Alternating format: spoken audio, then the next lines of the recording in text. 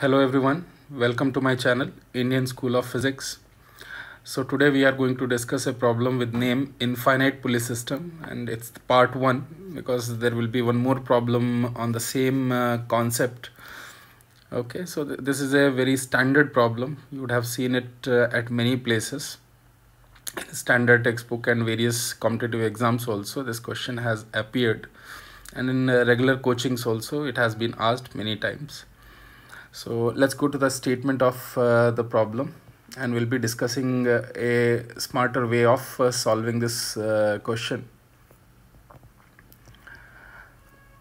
So here is the statement of uh, the problem which is uh, given as an infinite pulley system having a system of point masses each of mass m is shown in the figure.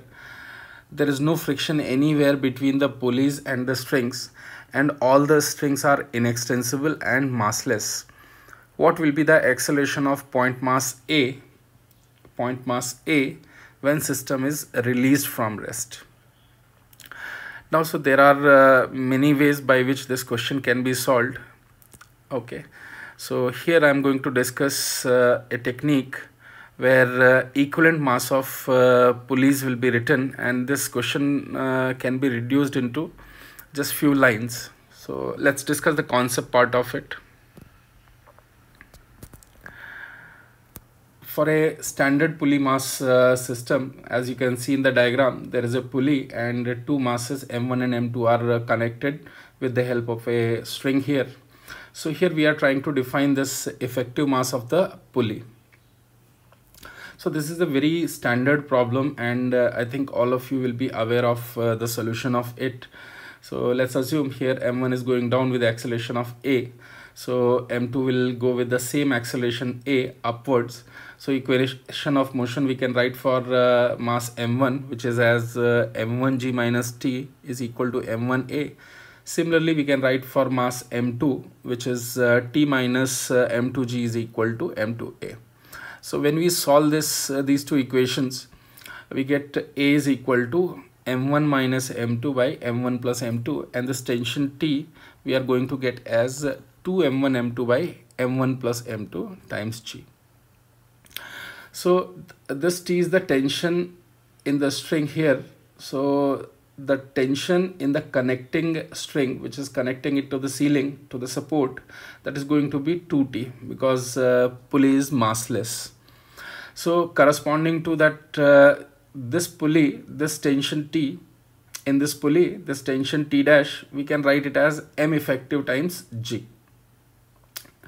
So uh, from here on solving, we will be getting this uh, M effective as 4 M1 M2 by M1 plus M2, which is double of the tension in the string here. So entire system we can uh, replace whenever we are going to see such type of system. So we can uh, uh, replace this pulley system and this mass system uh, with the overall mass of 4 m1 m2 by m1 plus m2. Let's move to the question. Now we are going to solve this question here. So as you can uh, see in the diagram, uh, the mass A, its mass was given as m. Now rest of the pulleys up till infinity I'm uh, covering in this uh, red curve red dotted curve and I'm calling this mass as M effective. Okay?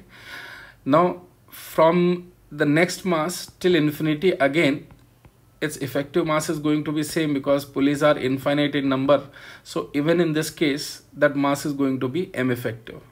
So now if you look at this pulley P2 in the sideways diagram we can see here on this pulley P2 one side there is mass of uh, M which is hanging here and other side there is mass of M effective which is hanging here.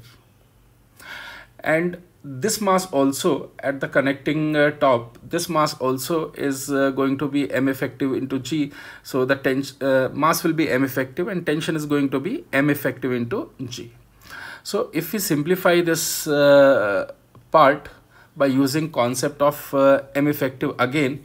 So we are going to get M effective is equal to 4M into M effective divided by M plus M effective as I have written here.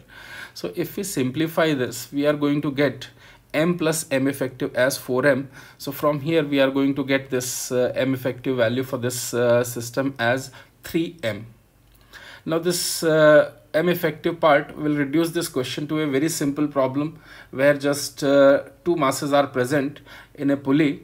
So one side this uh, mass m is present its acceleration we have to find out and this entire assembly up to infinity has been replaced by a mass of 3m so now this is a very simple problem. Here directly we can write its acceleration is going to be m2 minus m1 by m1 plus m2 times g if we substitute the value of uh, m1 m2 we are going to get this answer as uh, g by 2 which is the answer for this uh, particular problem.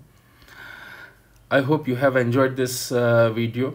If you have uh, liked please subscribe my channel. Also please uh, share it with your friends teachers and you know thank you.